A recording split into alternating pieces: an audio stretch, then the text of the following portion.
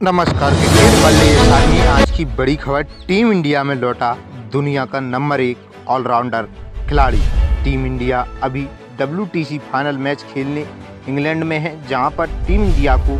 Australia के खिलाफ 7 जून से 11 जून तक डब्ल्यू फाइनल मैच खेलना है। इसके लिए टीम इंडिया के ऑलराउंडर खिलाड़ी रविंद्र जडेजा कल शुभमन गिल के साथ इंग्लैंड पहुँच गए हैं, क्योंकि वह आईपीएल फाइनल खेलने के कारण